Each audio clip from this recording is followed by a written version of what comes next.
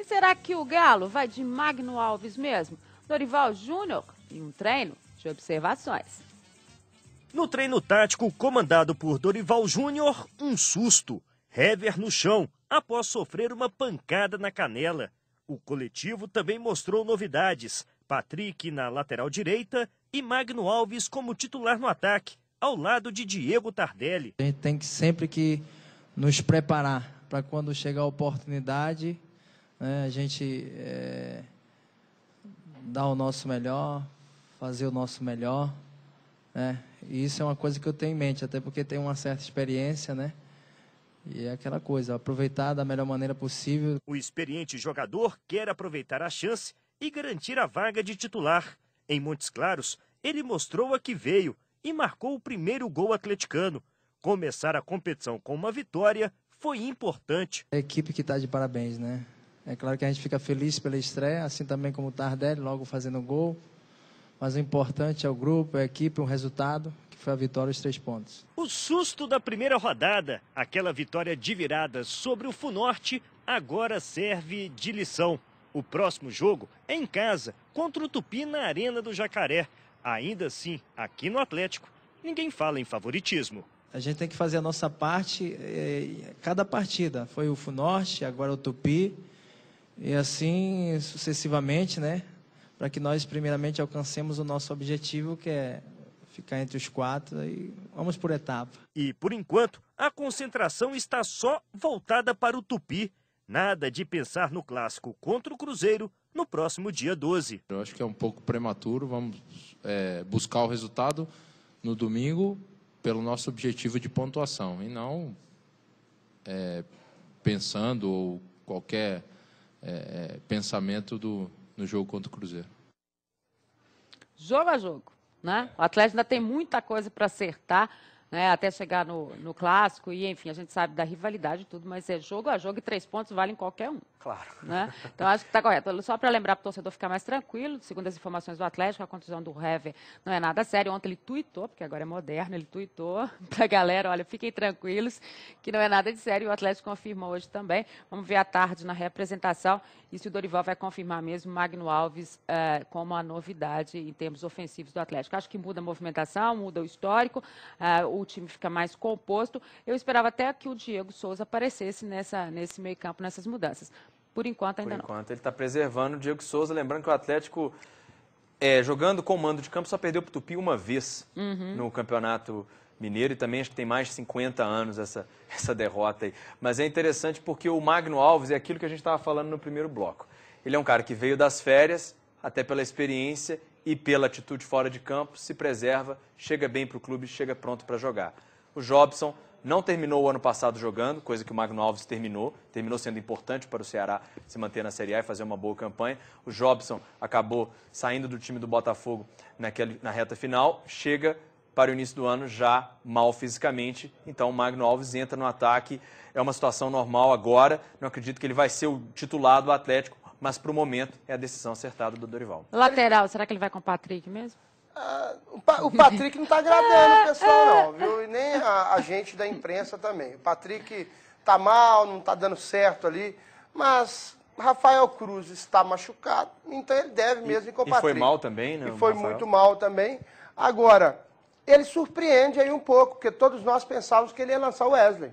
Também, Sur também. Surpreendeu, colocou o Magno Alves, ainda tem o Wesley como opção.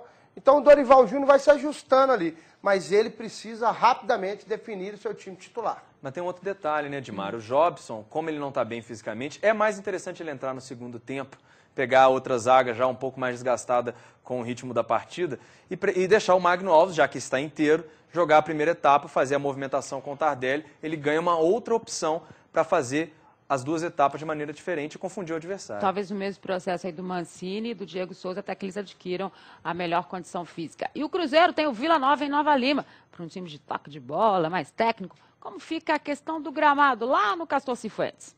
É, a bola parada é importante, porque às vezes, para você trocar passes, talvez o gramado não favorece muito, né? A equipe que é mais técnica. Mas é procurar jogar tocar a bola, né, colocar a bola no chão, como o Cruzeiro gosta de fazer. É claro que a gente pode ter dificuldades né, num domínio de bola, em alguma coisa assim, mas como eu falei, tem que passar por cima disso, né? Qualidade o time tem. Então, o campo é ruim, é ruim para os dois lados, então procurar fazer um grande jogo e também usar essas bolas paradas, como eu falei, né, por, pelo campo ser pequeno, é uma arma que a gente pode ter a nosso favor. Sem dúvida nenhuma, lá em Nova Lima, essa é sempre uma arma importante, a bola parada pela própria condição. Eu confesso que eu não tive no Castor Cifuentes aí nos últimos dias, né, para poder saber como é que está o gramado.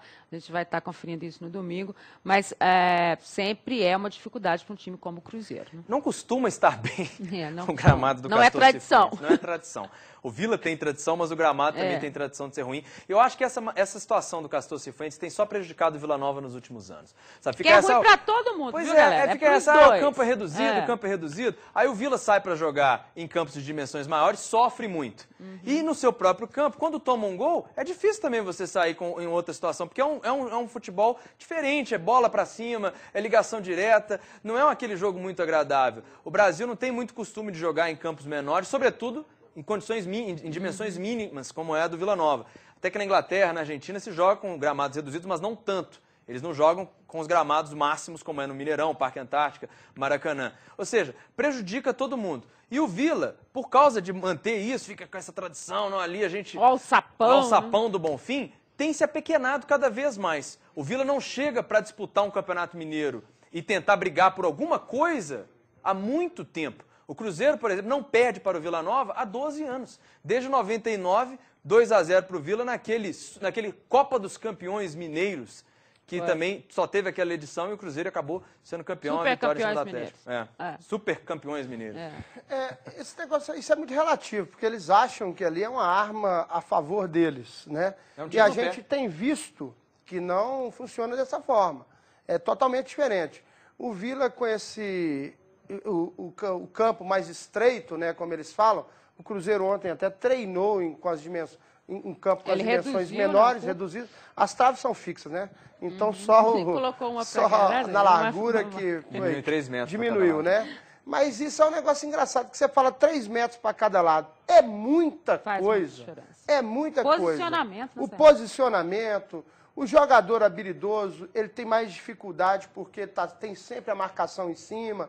Então, isso aí tem que ser olhado também. Porque esse gramado, há muito tempo que ele está ruim. E às vezes a Federação Mineira também, gente, não fala nada, está sempre aprovando.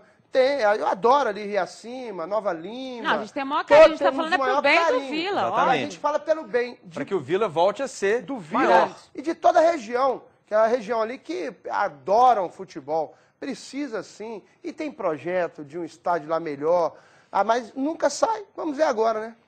Então vamos lá, vamos conferir então a classificação do Campeonato Mineiro, para a gente conferir também a segunda rodada, né, que tem continuidade na verdade, porque o América começou essa rodada na quarta-feira, na vitória em cima da Caldense. E aí então o América é o líder do campeonato, lógico, ele tem dois jogos com quatro pontos, o Guarani, o Cruzeiro, o Atlético tem três pontos, Tupi e Uberaba um ponto. Vamos virar a página aí para apresentar então as duas equipes. O Vila Nova também um ponto, o América de Teófilo Otoni, o Democrata de Governador Valadares. O Funorte não marcou, a Caldense não marcou e o Ipatinga também não marcou. Vamos lá. A rodada, a segunda rodada, que começou então na quarta-feira, com a vitória do América em cima da Caldense. E a gente tem ainda Ipatinga e Funorte, Atlético e Tupi, Uberaba e América de Teófilo Otoni, Vila Nova e Cruzeiro, Democrata de Governador Valadares e Guarani. O que, é que a gente pode destacar nessa rodada, além, obviamente, do jogo do Atlético contra o Tupi e do Vila contra o Cruzeiro, que a gente já falou. Esse Democrata de Governador Valadares e Guarani é bacana, né? É o Guarani deu uma goleada no Ipatinga. Né? O Democrata, esse jogo acontece na segunda-feira, tá, galera? Esse é um jogo bom de se destacar também, né? É, o, o Guarani estreou muito bem, surpreendeu todo mundo. E eu também tenho uma curiosidade para ver esse time do Ipatinga. O que, que ele está querendo nesse campeonato? Se ele Vamos quer ver na segunda módulo rodada o que que ele tá querendo, né? Se ele É. quer voltar para o módulo 2 ou quer minimamente se manter na primeira divisão Uhum. do Campeonato Mineiro. O engraçado é o seguinte, o América de Teófilo Otoni faz sua segunda partida fora de casa, É né? verdade. E o Democrata faz a sua segunda partida dentro, Dentro de de casa. casa, é. né? Eu não sei até que ponto é bom você jogar duas partidas, porque se o Democrata não vencer ali, já fica ruim É. pro Democrata. Se é bom ou ruim, só E- mostra e que a o- tabela foi mal feita. É, e- Não, e não, o- mas eles decidiram no arbitral. É, a questão do exatamente. Mande foi, Isso foi contra todo eles. Todo mundo assina. É, todo mundo assina. Todos os presidentes assinam. Então, eles, eles são responsáveis por isso também. E a gente vê também o Ipatinga. Vai mostrar que veio. Se não ganhar do Funorte, corre, corre sério risco de ser rebaixado no Mineiro também. Então vamos ver que ele veio, né? Vamos ver se ele apresenta isso pra gente nessa segunda rodada. Intervalo rapidinho, já já a sequência do Minas Esporte, e aí tem um louco por futebol. Então sai daí, olho no Minas Esporte. Olho na Band.